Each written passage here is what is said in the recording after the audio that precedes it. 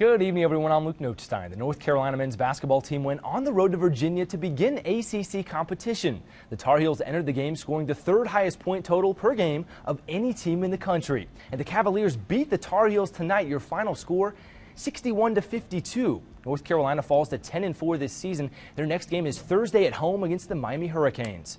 A pair of local baseball stars were in town yesterday to host a camp for kids at Reynolds High School. John Hinson starred at Reynolds, then Clemson, and was signed by the Astros. Steven Hensley, who played his high school ball at Owen, was an All American at Elon and was drafted by Seattle. Both players are very hungry to make it to the highest level.